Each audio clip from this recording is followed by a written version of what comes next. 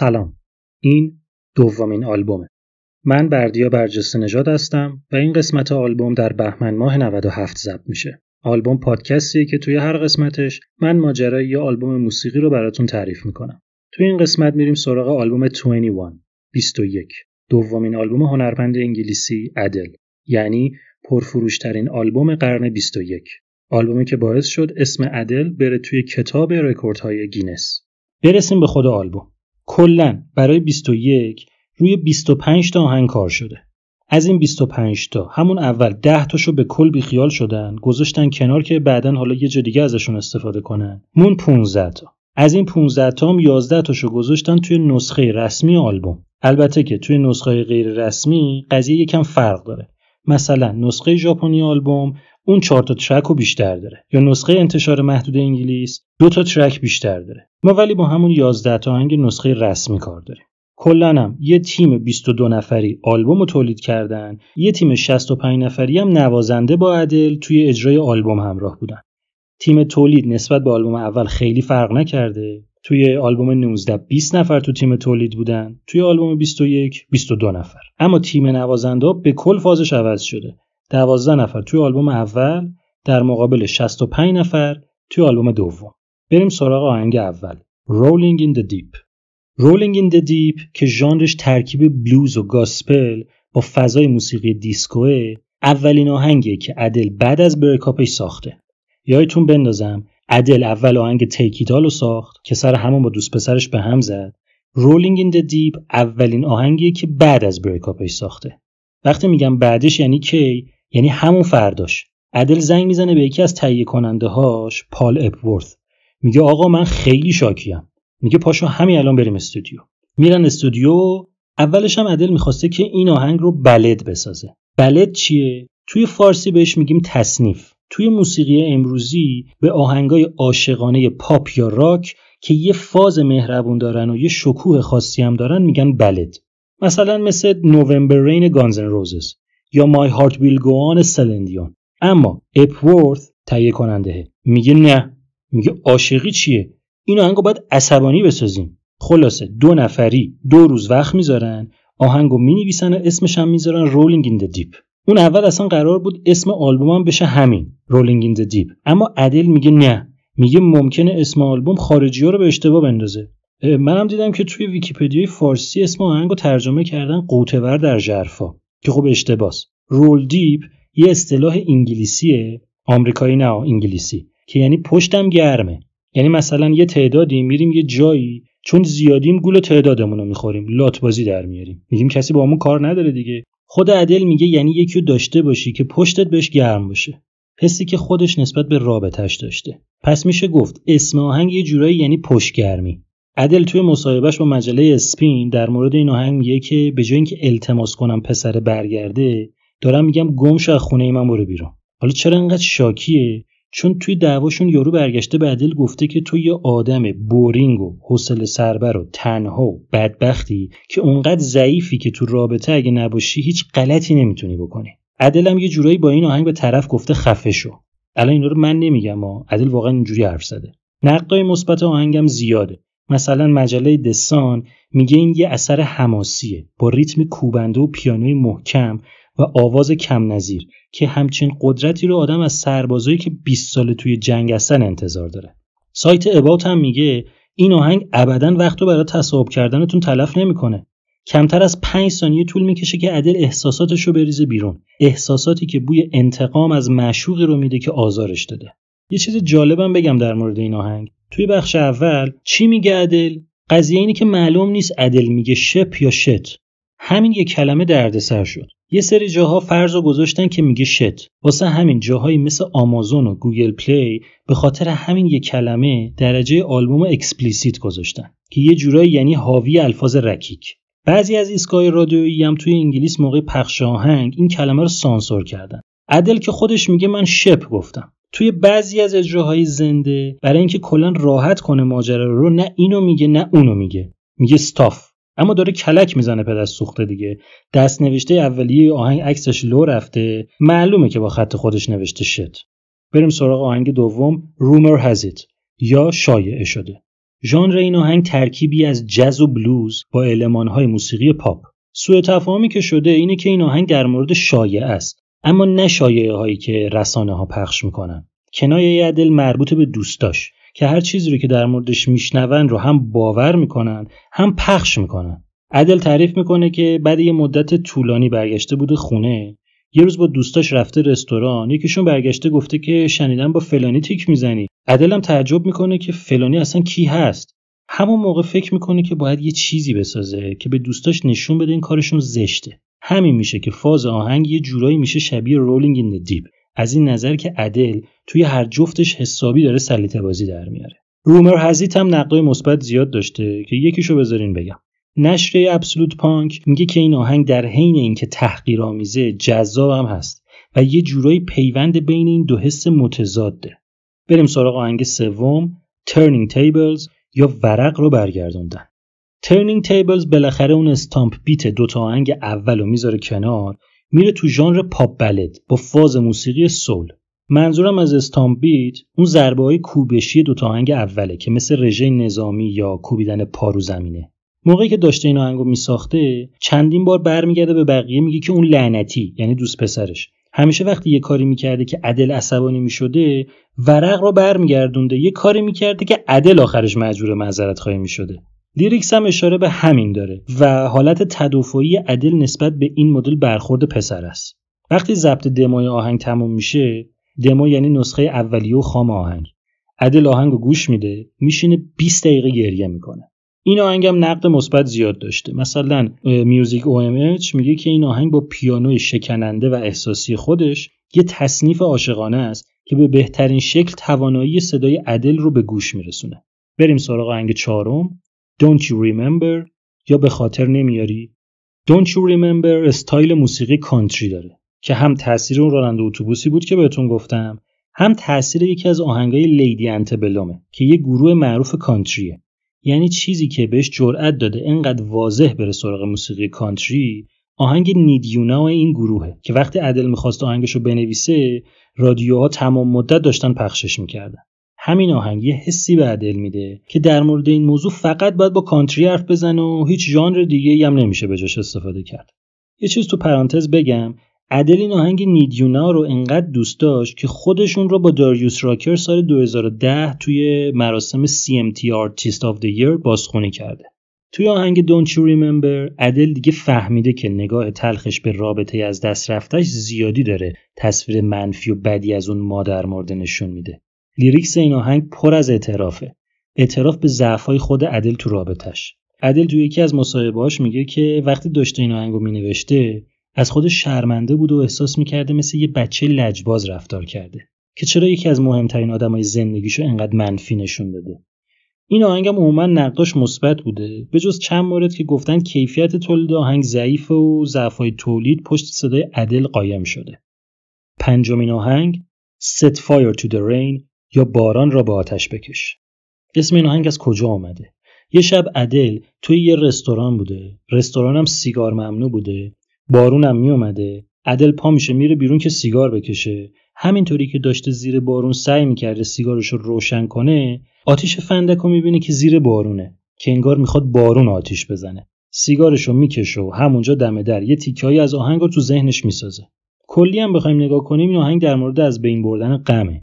خود عدل بهش میگه آهنگ رهایی. خلاصه اینکه همون شب عدل میره استودیو میشینه تو آشپزخونه همینطوری پشت سر هم قهوه می‌خوره و سیگار می‌کشه و لیریکس آهنگو کامل می‌کنه. این آهنگ هم نقد مثبت زیاد داشته. البته بعضی جاها اون رو با آهنگ گرینید برونو مارس مقایسه کرده بودن. نه از نظر مضمون البته. به خاطر اینکه هم تمپای آهنگا یعنی سرعتشون یکیه هم استایلشون یکیه هم رنج وکالشون یعنی آوازشون شبیه.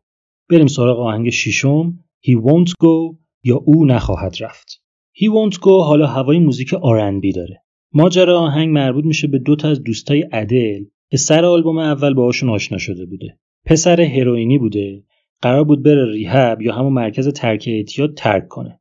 واسه عدل عشق این دوتا و تعهدشون نسبت به هم خیلی جذابه که چطور همین عشق باعث میشه پسره بره دنبال ترک. خط اول آهنگ اشاره به رابطه خود عدل با دوست پسرش داره.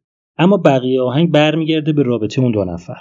این آهنگ هم کلا نقدای مثبت زیاد داشته. بعضیاشون هم اونو با مری جی بلایج و لارن هیل مقایسه کردن. دو تا از این شاخهای موسیقی آرنبی آهنگ هفتم آهنگی که قبلا بهش اشاره کردم آهنگی که باعث شد رابطه عدل تموم بشه و نطفه این آلبوم شکل بگیره تیکیتال یا همه چیز را با خود ببر. یا آهنگ توی ژانر سول که تاثیر زیادش از موسیقی گاسپله. در مورد این آهنگ و ماجراش قبلا حرف زدم. دیگه دوباره نمیگم.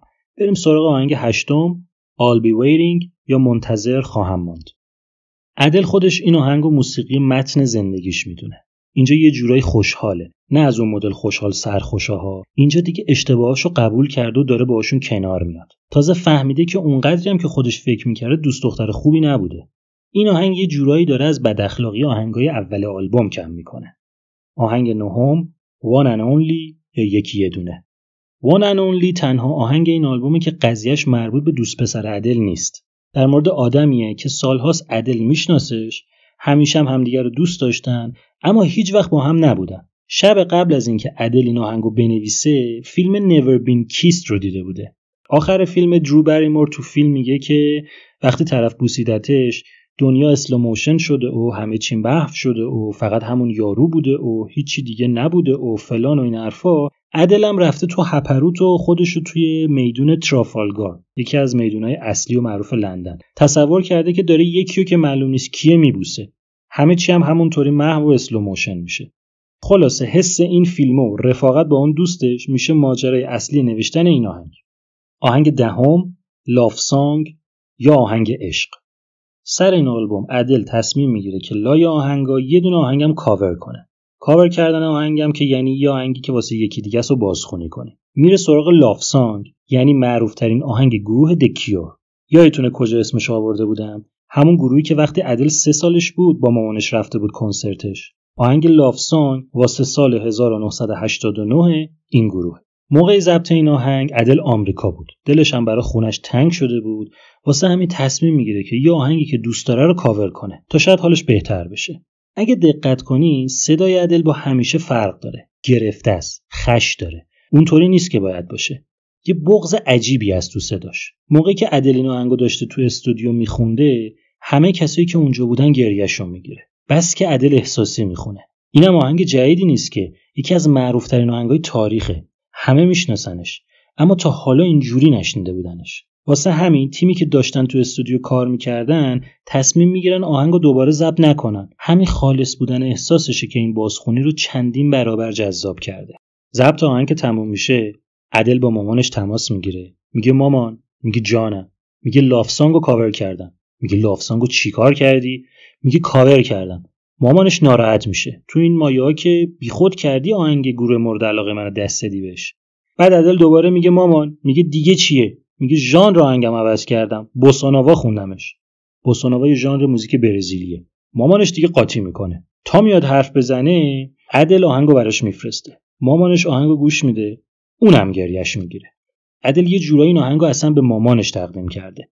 تغییر اصلی که ادل تو آهنگ داده که آهنگو به نظرم حتی از نسخه اصلی هم جذاب تر کرده اینه که تمپوی آهنگو تا اونجا که جا داشته آورده پایین که خیلی بیشتر از ورژن اصلی به lyrics آهنگ میاد. و اما می‌رسیم به آخرین آهنگ آلبوم آهنگ یازدهم آهنگی که احتمالا از همون اول منتظر بودین در موردش بشنوین Like You یا کسی مانند تو. عدل رسیده به آخرای پروسه ساخت آلبوم. با خودش فکر می‌کنه که خیلی غر زده و هر جامون بنده خدا رو مخاطب قرار داده تقریبا زده ترکوندتش. جدایشون هم البته همچین آروم و دوستانه نبوده اما به هر حال اون آدم تو زندگی عدل نقش خیلی مهمی داشته. حالا اینو داشته باشین یهو عدل بهش خبر می‌رسه که طرف با یکی نامزد کرده و قرار ازدواج کنه. این حس عجیب دوگانه باعث میشه عدل شرایطی که براش پیش اومده رو بپذیره و با موضوع کنار بیاد. و اینجوری میشه که عدل مشهورترین آهنگ خودش رو خلق می‌کنه. ادل سرماخورده و مریض. میشینه گوشه تختش؟ منتظر تا حموم گرم بشه. همونجا نوشتن آهنگ رو شروع می‌کنه. فرداش میره آهنگ رو برای جاناتان دیکنز مدیر برنامه هاش و مامان خودش اجرا می‌کنه. دیکنز کف می‌کنه مامانش می‌زنه زیر گریه. بعد ادل برای کامل کردن آهنگ میره تو استودیو با کی؟ با دن ویلسون که یکی دیگه از آهنگسازا و تهیه کننده هاشه میشینن توی اتاق ادل گیتار رو می‌گیره دستش دو نفری دو روز وقت می‌ذارن تا به ملودی برسن و lyrics رو کامل کنن. اتفاقی که میفته اینه که دو تا تصمیم مهم می‌گیرن. اول اینکه آهنگ رو به جای گیتار با پیانو اجرا کنن. دومی که به جز پیانو از ساز دیگه هم استفاده نکنن. ساموال لاکیو یه جورایی جنبندی کل آلبومه. آهنگی که حسن ختام این آلبوم بینظیره که سفر احساسی عدل رو از یه شروع پر از خشم میرسونه به پذیرش و شاید هم آرامش. آهنگی که توش فقط صدای عدل رو داریم با پیانوی دن ویلسون. آهنگی که پر دانلود شده ترین آهنگ تاریخ انگلیس شده اون موقع. آهنگی که اولین ballad پاپ آواز و پیانوی تاریخه که رتبه اول چارت بیلبورد گرفته. وقتی ادل آهنگ نوشت به شدت احساس بدبختی و تنهایی می‌کرد که یه جورایی با حس Rolling in the Deep که توش همش شاخبازی در می آورد و شاخ و شونه می‌کشید متضاد بود. توی اون آهنگ کل حرف ادل این بود که من بدون تو هم حالم خوبه. اما سر Someone Like You خود ادل میگه که موقع نوشتنش خودش رو چل ساله تصور کرده بوده که دوباره طرف رو می‌بینه که اون یه زندگی عالی با یه زن زیبا و بچه های خوشگل داره که خوشحاله و عدل هنوز تنها و سردرگمه. ترس فکر کردن به همچین چیزی باعث میشه عدل بفهمه که اول باید با این موضوع کنار بیاد تا بتونه برگرده به زندگی طبیعی خودش. نتیجهش هم میشه نوشتن این آهنگ. حالا برگردیم دوباره یه سر بزنیم به اولای این قسمت پادکست. آلبوم 21 منتشر میشه همه چیزم خوب بوده تا حدی تا سه هفته بعد از انتشار آلبوم شب اجرای ادل توی Brit Awards 2011 همون اجرایی که فروش آلبوم رو یه ساعت ده برابر کرد. مجری برنامه جیمز کوردون می‌خواد ادل رو قبل از اینکه Someone Like You رو بخونه معرفی کنه. میگه هیچ حسی شبیه این نیست که به آهنگی گوش بدی که یه آدم دیگه اون رو ساخته و احساس کنی داره دقیقا لحظه ای از زندگیت رو توصیف می‌کنه که قبلا تجربهش کردی. از آرتیستی حرف می‌زنم که قبلا هم بارها این کار رو باهامون کرده. کسی که الان توی 17 تا کشور رتبه اول چارت رو داره. اگه تا حالا دل شکستگی رو تجربه کرده باشین این لحظه رو هیچ وقت فراموش نمی‌کنه. ادل ایستاده وسط اون stage بزرگ و تاریک و خالی کنار دستش مایلز رابرتسون نشسته نوازندش نشسته پشت پیانو. عدل شروع می‌کنه به خوندن ساموال لاکیو از قیافش معلومه که راحت نیست. معلومه که معذبه بغز داره. کاملا هم تابلوه که فیلم نیست. وسط آهنگ یه تیکه بغزش میره که بترکه اما خودشو جمع می‌کنه. آهنگ تموم میشه بغز عدل میترکه ملت از جاشون بلند میشن و تشویق می‌کنن. عدل به جمعیت نگاه نمی‌کنه. انگار داره پیانو رو نگاه می‌کنه. جیمز کوردون میگه می‌تونی هزار مدل برقصی و کارهای عجیب غریب بکنی اما اگه صدایی مثل صدای عدل داشته باشی تنها چیزی که لازم داری یه پیانوه. اجرا تموم میشه اما همونطور که گفتم ماجرا تازه شروع میشه و ظرف یه ساعت فروش آلبوم ده برابر میشه و شکوندن رکوردها استارت می‌خوره. بعدا از عدل توی یکی از مصاحبهاش می‌پرسن که چرا آخر اجرا داشتی گریه می‌کردی؟ عدل جواب میده که احساساتش داشته خفش می‌کرده. ناراحت و معذب بوده. که الان طرف نشسته تو خونه داره توی تلویزیون پخش مستقیم برنامه رو می‌بینه و میخنده. میخنده چون می‌دونه گریه عدل به خاطر اونه. با خودش فکر می‌کنه که آره دیگه هنوز افسار این دختره دست منه. اما چرا این آهنگ؟ چرا سامان لاکیو اینقدر دلنشینه؟ درسته که لیریکس فوق العاده است و صدای عدل بی‌نظیره اما چی باعث میشه که هر بار که میشنویمش بازم برانگیخته بشیم؟ این مسئله دلیل نسبتا علمی داره. 20 سال پیش یه روانشناس انگلیسی میاد یه آزمایش را میندازه چند نفر رو میاره. ازشون می‌خواد که اون آهنگی که حس می‌کنن خیلی احساسیه رو یه بار دیگه گوش کنن بگن کجاش حس می‌کنن. یه اتفاق فیزیکی داره براشون میفته. مثلا داره گریهشون می‌گیره. بغض می‌کنن یا مورمور میشه پوستشون. از 20 آهنگی که اینطوری بررسی می‌کنه می‌بینه که 18 تاشون یه ویژگی مشترک دارن. اینکه قبل از اینکه آهنگا به ریتم اصلی خودشون برسن با یه ریتم متفاوت و آرومتری شروع میشن. این چیز خیلی ساده یه انتظاری رو توی ذهن شنونده ایجاد می‌کنه که وقتی می‌رسه به ریتم اصلی اون انتظار تموم میشه و همین یه حس ارضا شدن به وجود میاره. حالا فکر کنین این اتفاق چند بار تو آهنگ بیفته. هی انتظار و تنش هی تموم شدن انتظار. همین باعث میشه که مسئله تشدید بشه و بتونه احساسات آدم رو قلقلک بده. ساموئل لاکیو هم دقیقا همین فرمول رو داره. آهنگ آرومه خیلی هم آروم با حوصله داره می‌خونه. می‌رسه به بریج که می‌خواد ورس رو وصل کنه به کراس. بریج قشنگ داره دون میپاشه و انتظار رو به اوج میرسونه. و بعد که کراس رو می‌خونه آدم رو منفجر می‌کنه و یه به اوج رسیدن همراه با حس تخلیه احساسی به آدم دست میده. خلاصه سامان لاکیو توی این موضوع یه پا کلاس آموزشیه. همین عوض شدن الگوی آهنگی که سیستم عصبی سمپاتیک ما رو تحریک می‌کنه ضربان قلبمون بیشتر می‌کنه. یه چند تا آزمایش دیگه هم هست که بهشون دیگه اشاره نمی‌کنم. یه سوال دیگه. چرا سامان لاکیو با اینکه غمگینه اما اینقدر محبوب و دوست داریم مدام بهش گوش کنیم؟ این هم دلیل داره. چند سال پیش یه آزمایش کردن توی دانشگاه مکگیل. فهمیدن که این آهنگا باعث میشن که دوپامین توی مرکز لذت و پاداش مغز پخش بشه. فهمیدن که تعداد مورمور شدن بدن یا سیخ شدن موها با تعداد آزاد شدن دوپامین تناسب داره. همینم باعث میشه دلمون بخواد هی اون آهنگو گوش کنیم غمگین یا شاد بودنش هم مهم نیست. خلاصه اینکه سامان لاکیو یکی از بهترین مثالها برای این فرموله. چیزی که شنیدین قسمت دوم پادکست آلبوم بود که توش در مورد آلبوم 21 دومین آلبوم خواننده انگلیسی ادل صحبت کردم. ممنون از اینکه این قسمت آلبوم گوش کردین و خوب میشه اگه دوستش داشتین آلبوم به دوستاتون هم معرفی کنین. پادکست آلبوم رو من بردیا برجسته نژاد می‌سازم. دومین آلبوم تموم شد.